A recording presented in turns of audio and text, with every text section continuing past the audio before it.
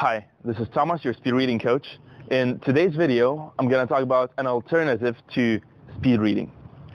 So I've met a few people who do this, uh, and it is a pretty amazing uh, tool you can use in your daily life without really interrupting any of your daily activities to get more and more uh, information through it, and that is they do audiobooks. Now, you're probably familiar with audiobooks already. Maybe you're a big fan of them. Maybe you were before you discovered speed reading and figured out it's actually better to just go and find and take out of the book what I need for myself. But the interesting thing that they do is the, and I've met several several people who do this now, and that's really a good way to approach audiobooks.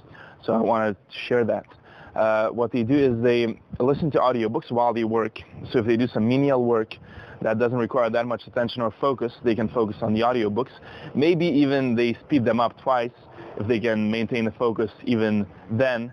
And after they go through the audiobook, they just go through for half an hour, let's just say, through all of the summaries they can find of the book online. Right? And simply doing that makes a lot of sense. Uh, you go through the main key books, then you go look what's the main idea of the book by reading a few summaries and just find some other ideas. You look at the structure basically of the book by going through those summaries. So it's not as extensive as speed reading. Uh, it's not, you don't really get that much out of the book if you do that, but still it's an interesting way to use out your time.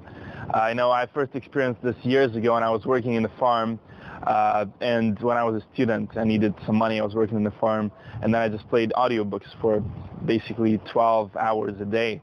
When I wake up, I just didn't even want to waste a single minute of my life. I would just woke up, wake up, play the audiobook while brushing the teeth, etc. I, I would have even done it if I could while taking a shower. I probably have tried.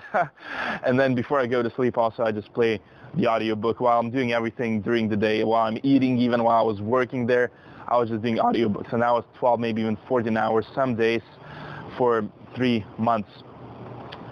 Of course, I don't really recommend to do this necessarily unless you really want to because then it's just theory, theory, theory crammed into your head.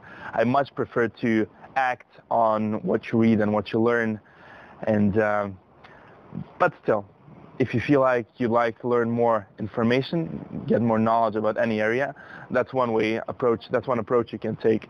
Especially also if you have some job that you want to escape from, some nine, nine to five job, just whenever you can, play an audiobook, learn how, about the alternatives, and then take action from it.